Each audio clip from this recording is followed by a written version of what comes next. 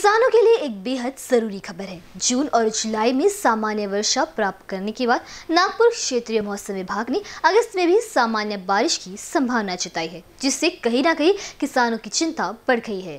एक और जहाँ विदर्भ में सामान्य वर्षा के कारण कई जलाशय अभी तक नहीं भरे हैं। वहीं पश्चिमी महाराष्ट्र और कोकण क्षेत्र में धुआंधार बारिश हो रही है। हालाँकि विदर्भ के इलाके में हुई सामान्य बारिश के कारण अभी भी विदर्भ के जलाशय पूरी तरह से नहीं भरे हैं। इस स्थिति में अगस्त में जताई जा रही सामान्य बारिश की संभावना ने सिंचन विभाग की चिंताएँ बढ़ा दी है। विदर्भ में इस साल मानसून अपने निर्धारित समय से आठ दिन पहले पहुँच गया था। हालाँकि तब से वर्षा की कमी के कारण आर्द्रता बढ़ रही है और घट रही है। विदर्भ के अधिकांश जिलों में जून में कम बारिश होती है। इसके बाद जुलाई और अगस्त में भारी बारिश होती है। विदर्भ के कारण जुलाई और अगस्त दो महीने हैं जो मानसून की दृष्टि से बेहद महत्वपूर्ण है। इस दौरान बारिश जारी रहने की संभावना होती है।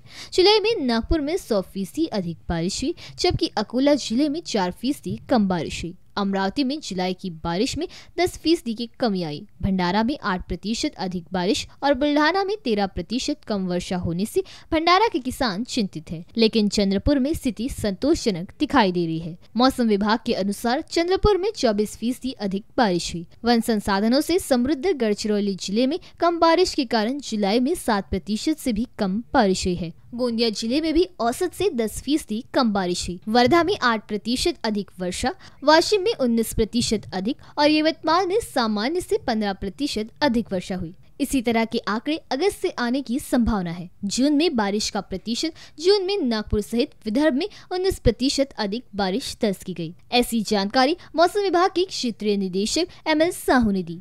जो अगस्त का लॉन्ग रेंज फोरकास्ट मौसम विभाग के द्वारा जारी किया गया उसके हिसाब से सामान्य वर्षा होगी विदर्भ में और पॉजिटिव सामान्य में तो पॉजिटिव रहने की संभावना है। तो आ, अभी तक जैसे हम देखें तो जून और जुलाई में भी सामान्य रहा और चार परसेंट प्लस में रहा। तो सेम सिचुएशन जो है अगस्त के बाद भी रहने की संभावना वो लो प्रेशर एरिया ज़रूर बन रहा है लेकिन वो जो है वो विदर्भ के लिए बहुत सूटेबल उनकी जो है स्थिति नहीं है। वो नॉर्थ बजट में थोड़ा बन रहा है।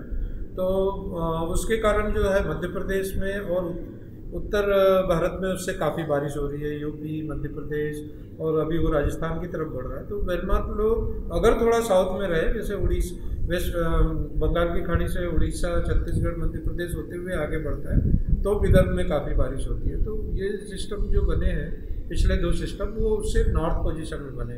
ये पश्चिम बंगाल में बन के झारखंड बिहार होते हुए